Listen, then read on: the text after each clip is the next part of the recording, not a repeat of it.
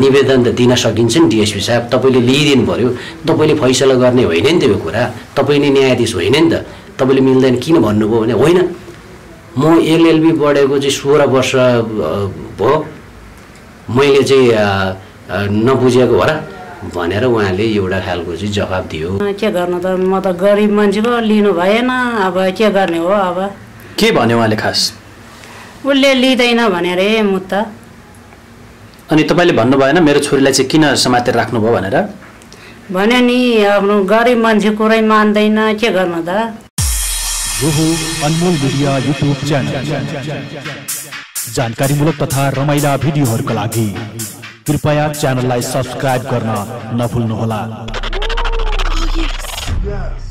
दर्शकबिन नमस्कार। हामी एउटा घटनाको विषयमा कुराकानी गर्न गइरहेका छौँ। मङ्सिर तेइस गते एउटा शारीरिक सम्बन्धलाई लिएर एउटा घटना भएको छ जसकारण तपाईँले देखिरहनु भएको छ स्क्रिनमा पीडित एकजना छोरीको आमा हामीसँग हुनुहुन्छ। तेइस गतेको घटनामा उहाँ चाहिँ अहिले हिरासतमा हुनुहुन्छ। उहाँको मम्मी हामीसँग हुनुहुन्छ। उहाँसँग हामी परिचयसहित घटना के भएको थियो र अहिले के भइरहेको छ भन्ने विषयमा हामी उहाँसँग कुराकानी गर्छौँ। आमा स्वागत छ यहाँलाई। हजुरको नाम भनिदिनुहोस् त आमा। बिमाया तामाङ नि हो। अनि छोरीलाई चाहिँ तेइस गते खासमा के भएको? अहिले उहाँ चाहिँ प्रहरीको हिरासतमा हुनुहुन्छ। के भएको? थियो अलिकति घटना तपाईँलाई थाहा भएको चाहिँ भनिदिनुहोस् त। तेइस गतेको घटनामा छोरीलाई त्यो केटा आउने रे कोठाइमा कोठाइमा आएर खै के के भयो अन्त पछाडि त्यस्तै भएर झगडा भइया रे झगडा भएर पछाडि यस्तो कुराले हुन्न भन्दा भन्दै त्यो केटाले जबरजस्ती गर्दाखेरि अन्त जबरजस्ती नगर भन्दाखेरि जबरजस्ती गर्दाखेरि अहिले त्यो छोरीले यस्तो घटना गरेछ लिङ्गो त्यो छोरी त्यो उम्, त्यो त्यो तरकारी काट्ने छुरीले? हजुर। हानेछ. त्यही हो। मतलब तपाईँको छोरीसँग प्रेम सम्बन्धमा रहेको केटा हो उहाँ चाहिँ? है मलाई थाहा छैन सर त्यो त। ए अनि अहिले छोरी कहाँ हुनुहुन्छ तपाईँको? अहिले बौद्ध चौकीमा। कति दिन भयो उहाँ चाहिँ अहिले हिरासतमा भएको? अहिले तेइस गतेदेखि अहिले कति गते पुस कति गते गयो? जस बाह्र तेह्र दिन भयो होइन? भोलि पन्ध्र हुन्छ पन्ध्र दिन हुन्छ। हजुर। ए ए। अनि तपाईँले आफ्नो छोरी के कारणले प्रहरी चौकीमा गयो प्रहरीले थुनेर राखेको छ भन्ने विषयमा बुझ्नुभयो? ए, बुझ बुझौ भनेको मैले यस्तो कागजपत्र सबै मुद्दाहरू यस्तो गरौँ भन्दाखेरि डेस्मीले लिनु भएन। के गर्नु त? म त गरिब मान्छेको लिनु भएन। अब के गर्ने हो अब? के भन्यो उहाँले खास? उसले लिँदैन भने रे मुद्दा। अनि तपाईँले भन्नु भएन मेरो छोरीलाई चाहिँ किन समातेर राख्नुभयो भनेर? भन्यो नि आफ्नो गरिब मान्छे कुरै मान्दैन के गर्नु त? तपाईँको त्यसमा चाहिँ जवाब चाहिँ के आयो?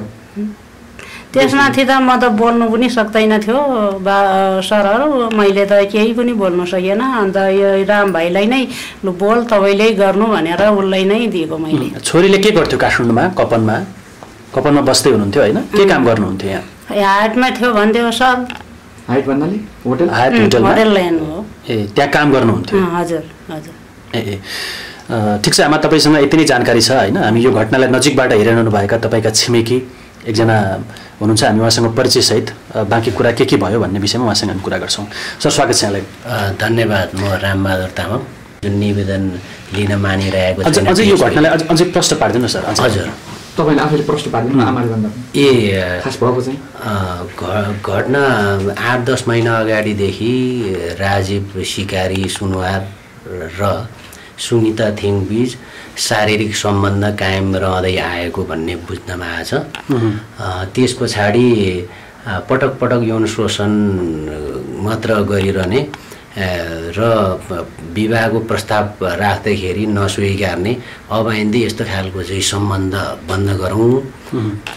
अब छिनोफानो गरौँ। तपाईँ एकचोटि अब रुममा आइदिनु पऱ्यो एक महिना अगाडि रिलेसन लगाइसकेपछि फेरि आजको मितिसम्म तपाईँले चाहिँ सम्पर्कमा आएन।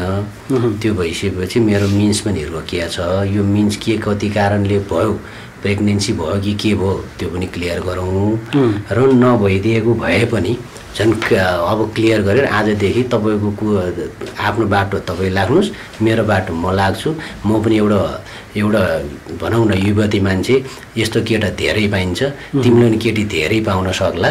तिम्रो र मेरो चाहिँ सम्बन्ध चाहिँ अब आइन्दा चाहिँ रिलेसन नराखौँ भनेर कोठामा डाक्दाखेरि तेइस गते भन्दा पाँच दिन अगाडि त्यसो भन्दाखेरि होइन म आउँछु म आउँछु भन्दा भन्दै पाँच दिन पछाडि ल त्यस भएदेखि तिमी नआउने भएदेखि म झुन्डेर मरौँ कि?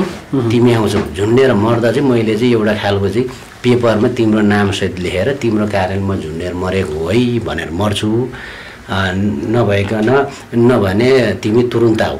भनिसकेपछि केटा ल ठिक छ म आउँछु भनेर नौ बजेतिर तेइस गतेको चाहिँ बिहानको नौ बजेको समयमा केटीको सुनिता थिङ बहिनीकोमा गएको घटनाक्रमले देखाउँछ। प्रहरीले पनि त्यही ढङ्गले चाहिँ प्रहरी कहाँ पनि बयान दिएकाको के अरे दिएको देखिन्छ। हजुर। त्यस पछाडि त्यो दिन त्यस्तो चाहिँ जुन लिङ्ग काटिएको सम्मको चाहिँ घटना घटिसकेपछि चार घन्टासँग चाहिँ एउटै रूपमा बस्ने र हिजोको जस्तो फिजिकल रिलेसन राख्न चाहिँ प्रयत्न गर्दाखेरि त्यो लेडिजले चाहिँ होइन बहिनीले चाहिँ सुनिता थिङले चाहिँ त्यो घरमा जुन तरकारी काट्नले चाहिँ राखिएको चाहिँ स्टिलको चक्कु छ त्यो प्रयोग गरेर केही क्षति पुर्याएको देखिन्छ। लिङ्गमै प्रहार गरे लिङ्गको प्रहार गर्ने देखिन्छ। आत्मरक्षाको लागि। आत्मरक्षाको लागि देखिन्छ। त्यो भइसकेपछि केटाको धेरै ब्लडिङ भइ ब्लिडिङ भइसकेपछि एम्बुलेन्सलाई चाहिँ आफ्नै मोबाइलबाट एम्बुलेन्सले बोलाएर सुनिताले? सुनिताले एम्बुलेन्सलाई बोलाइसकेपछि अनि एम्बुलेन्स पुग्यो। एम्बुलेन्स पुगिसकेपछि यो घटना के भयो भने चाहिँ यो तरिकल घटना भनिसकेपछि एम्बुलेन्सले चाहिँ म एक्लै यो लान सक्दिनँ।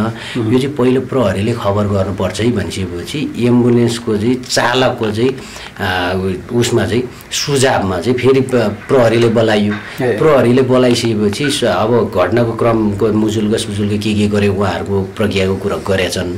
गरिसकेपछि केटोले हस्पिटल पुर्यायो के सुन्तको पनि उसमा काटिएको छ हातमा। सुन्तको पनि उसमा चाहिँ हस्पिटलमा लगेर उपचार पछाडि केटोलाई हस्पिटलमै राख्यो। के केटीलाई चाहिँ हिरासतमा लगिएको देखिन्छ। र त्योभन्दा पछाडि अनि लगदै दे- भोलिपल्ट फेरि ज्यान मार्ने उद्योग पनि केटा पक्षले चाहिँ अ, उद्योग अ, मा चाहिँ मुद्दा दायर गरेका छ बौद्ध डिएसपी कार्यालय बौद्धमा। ए, यो घटना भएको सुनिताकै कोठामा? कोठामा हजुर। सो सुनिताको पनि हातमा चोट लागेको चोट। लागेको छ। त्यो भनेपछि दुइटैको हात हालालाल भएको रहेछ होइन? अँ त्यो उनीहरूको चाहिँ केटोले चाहिँ प्रस्ताव राखिरहँदाखेरि एउटा खालको चाहिँ उसमा विवाद पैदा भएर झगडा भएको देखिन्छ। त्यो केटोले चाहिँ शारीरिक रिले रिलेसन राख्दाखेरि जुन प्रयत्न गर्नुभयो उहाँले त्यो हुँदाखेरि चाहिँ त्यो खालको चाहिँ एक आपसमा झगडा भएको देखिन्छ। अब त्यसपछि केटाको पक्षले चाहिँ ज्यान मार्ने उद्योगमा भोलिपल्ट राख्यो भोलिपल्ट मुद्दा हाल्यो हजुर। हालिसकेपछि अनि केटीको पक्षबाट पनि त्यस्तो कुनै खालको जाहिरी दिने या घटनाको विषयमा बुझ्ने भन्ने कुरा गर्नु भएन। कहिले गर्नुभयो? ए मैले त्यो घटना चाहिँ भोलिपल्ट थाहा पाएँ। त्यहाँ स्थानीय र छिमेकीको नाताले मैले अरू अरूबाट थाहा पाएँ। सुन्ताजीले पनि फोन गर्नुभयो।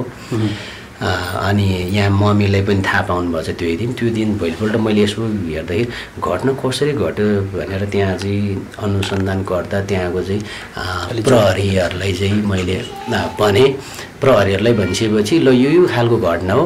उहाँहरूको तर्फबाट जाहेरी यस्तो खालको आएको छ भनिसकेपछि मैले भोलिपल्ट मैले पनि कानुनको चाहिँ कानुनी उसमा चाहिँ उपचारको निमित्त वकिलसँग सल्लाह गरेँ। ल घटनाक्रम चाहिँ हामीलाई हाम्रै लागि के अरे हाम्रै चेलीमाथि बलात्कार प्रयत्न भएर केटालाई चाहिँ यस्तो खालको चाहिँ छेद विधे के अरे क्षति भयो भनेर चाहिँ प्रहरीले उल्टै हाम्रो चेलीमाथि अन्यायपूर्ण जुन हिरासतमा राखिया छ। अब हामीले त्यो चाहिँ घटनालाई कसरी हेर्ने त भन्ने पाटोबाट मैले चाहिँ वकिलसँग सल्लाह गरेँ। भने उहाँहरूले चाहिँ ज्यान मार्ने उद्योगमा दर्ता गर्नुभएको छ भने तपाईँहरूले पनि कुन चाहिँ विषयवस्तु लिएर दर्ता गर्ने तपाईँले सक्नुहुन्छ भने।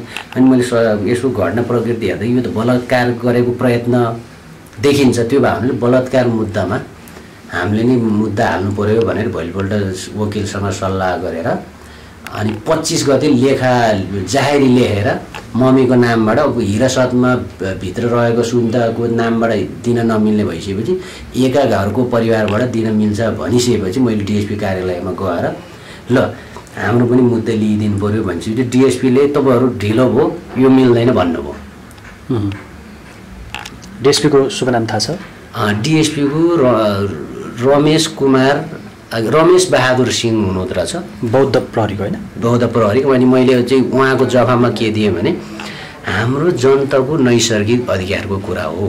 होइन पक्ष विपक्ष होइन दोषी निर्दोष जो पनि हुनसक्छ। तर सम्बन्धित निकायमा चाहिँ र घटना घट्या छ त्यसको चाहिँ सम्बन्धित स्थानमा प्रहरी चौकीमा निवेदन त दिन सकिन्छ नि डिएसपी साहब। तपाईँले लिइदिनु पऱ्यो तपाईँले फैसला गर्ने होइन नि त यो कुरा। तपाईँ नै न्यायाधीश होइन नि त। तपाईँले मिल्दैन किन भन्नुभयो भने होइन। म एलएलबी पढेको चाहिँ सोह्र वर्ष भयो। मैले चाहिँ नबुझेको हो र भनेर उहाँले एउटा खालको चाहिँ जवाब दियो। अनि तपाईँ नै न्यायाधीश हो त भन्ने प्रश्नमा चाहिँ हो वाइन भन्नु भएन कि म एलएलबी पढेको तपाईँले नसिकाउनुहोस् भनिसकेपछि झन् हामी स्तब्ध भयौँ। यो चाहिँ केस चाहिँ झन् हाम्रो पक्षमा हाम्रो न्याय दिने पक्षमा डिएसपी पनि एउटा खालको चाहिँ पोजिटिभ ढङ्गले उहाँले चाहिँ लिइदिनु भएन भन्ने हाम्रो बुझाइ हो। त्यो बुझाइ पश्चात आज लगभग बाह्र तेह्र दिन भयो बाह्र दिन दिन पछाडिसम्म पनि हामीले निरन्तर उहाँले चाहिँ भन्नुभयो परिसरमा गएर दिनुहोस् भनिसकेपछि हामी परिसरमा किन जाने? घटना तपाईँको चाहिँ लोकेसनमा तपाईँको चाहिँ इलाकामा भएको छ। तपाईँले हाम्रो चाहिँ मुद्दा दायर गरिदिनु पऱ्यो मुद्दा लिइदिनु पऱ्यो त्यो केटालाई समाएर तपाईँले इन्भेस्टिगेसन गरिदिनु पऱ्यो तपाईँले इन्भेस्टिगेसन गर्ने हो। तपाईँले चाहिँ न्याय दिने होइन न्याय फैसला गर्ने होइन। तपाईँभन्दा माथि न्यायाधीश हुनुहुन्छ न्यायाधीशले जे भन्नुहुन्छ हामी त्यसलाई स्वीकार्छौँ। तपाईँले चाहिँ निवेदन चाहिँ प्लिज लिइदिनुहोस् न भन्दाखेरि होइन? मिल्दैन म चाहिँ एलएलबी पढेको सोह्र वर्ष भयो भन्नुहुन्छ। उहाँको यो जवाब कहिलेको त्यतिमा- कुरा थियो। यो हामीले मैले पच्चिस गते कुराकानी गरेँ। अनि पच्चिस गते कुराकानी गरिसकेपछि यो त नमिल्ने रहेछ। अब जति गर्दा नमिल्ने भएपछि फेरि हाम्रो बिचमा चाहिँ इष्टमित्र साथीभाइसँग यो खालको कुरा हो। हामीलाई त साँच्चीकै सुनाइ हुँदैन क्या हो भन्ने पाटोबाट हामी पनि अलिकति तितर बितर भयौँ। म पनि रामेछापमा चाहिँ अब दुई चार दिन अब घराइसी कामले गर्दाखेरि ओझेलमा परेँ। फेरि हिजो अस्ति आएर एक गतेदेखि निरन्तर प्रयत्न गरेँ। निर अहिलेसम्म पनि उहाँले दर्ता लिन मान्नु भएको छैन। तपाईँले जाहेरीमा चाहिँ त्यहाँ दिँदाखेरि जाहेरीको भनौँ त्यो आशय के छ? के खालको चाहिँ तपाईँले त्यो उल्लेख गरेर जाहेरी दिनु होइन। खोज्नु भएको छ? बलात्कार गर्ने गर्न खोजिएको हुँदा उहाँलाई पनि अनुसन्धानमा चाहिँ ल्याएर दोषीमाथि कडा कारवाही गर्नु पर्यो भन्ने छ जबरजस्ती सुनितालाई चाहिँ शारीरिक सम्बन्ध गर्न खोज्दाखेरि हजुर। उहाँले आत्मरक्षाका लागि चाहिँ उहाँको प्रहार गरेको हुना गुप्त अङ्गमा चाहिँ प्रहार गर्यो भन्ने हो, हजुर। त्यसमा प्रहरीको भनाइ के थियो त अनि प्रहरीको भनाइ त मैले अघि भनिहालेँ जाहेरी लिइदिनुहोस् न भन्दाखेरि होइन जाहेर लिन मिल्दैन भनिसकेपछि मैले भने जाहेर किन कुन मानेमा मिल्दैन? तपाईँले दोषी होइन तपाईँको चाहिँ निर्दोषी दुवैको लिन मिल्छ पक्ष विपक्ष दुइटैको लिन मिल्छ तपाईँ चाहिँ एउटा प्रहरी उसको हो होइन प्रशासनको हो तपाईँले लिन मिल्छ दुइटै लिनुहोस्।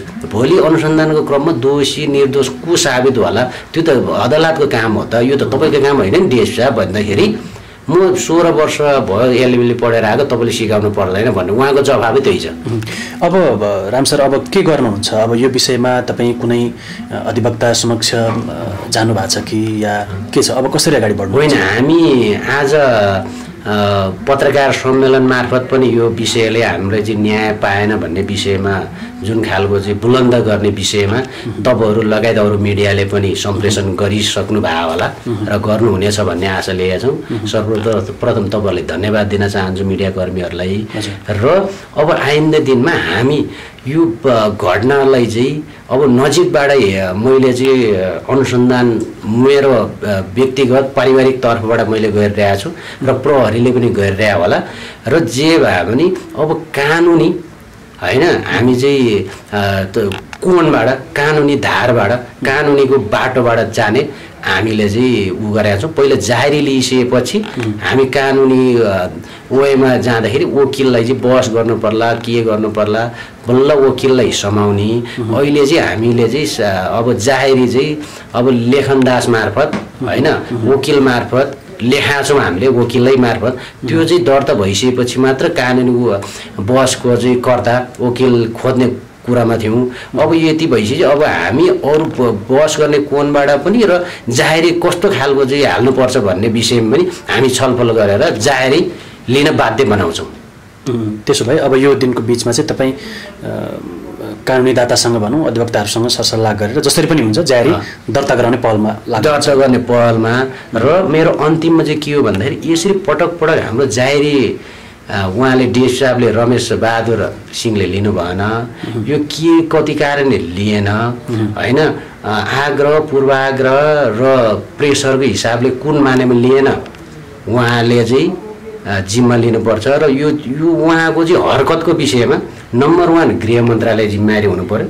दोस्रो नम्बर प्रधान कार्यालय आइजिपीको कार्यालय हुनु र तेस्रो नम्बर हनुमान ढोको परिसरले चाहिँ यसको चाहिँ अनुसन्धान गरेर जिम्मा लिन चाहिँ म आग्रह गर्छु। हुन्छ अब तपाईँ एउटा पीडित पक्षको हिसाबले भनौँ पीडितको आमा हुनुहुन्छ सुनिताको होइन? हजुर। सत्य तथ्य घटनाको विषयमा प्रहरीले छानबिन गरिदियोस्। र हाम्रो पनि जाहेरी लिइदियोस् भन्ने तपाईँहरूको एउटा भनाइ हो होइन? त्यो विषयमा पनि प्रहरीले पनि एउटा गम्भीरताका साथ भनौँ एउटा शारीरिक सम्बन्धसँग जोडिएको विषय छ होइन? हजुर। र तपाईँले अर्को कुरा पनि भन्नुभएको छ कि एक महिनासम्म सुनिताले आफू मिन्स नभएको भन्ने कुरा पनि त्यहाँ गर्नुभएको छ होइन? यो कुराहरूमा प्रहरीले पनि गम्भीरताका साथ अनुसन्धान गरोस् होइन। दुवै पक्षको कुरा सुनोस्। हामी पनि यही भन्न चाहन्छौँ। यो कुरा गरिदिनु भयो यहाँलाई धेरै धेरै धन्यवाद। हस् त धन्यवाद। यो हो अनमोल मिडिया युट्युब च्यानल। जानकारीमूलक तथा रमाइला भिडियोहरूका लागि कृपया च्यानललाई सब्सक्राइब गर्न नभुल्नुहोला।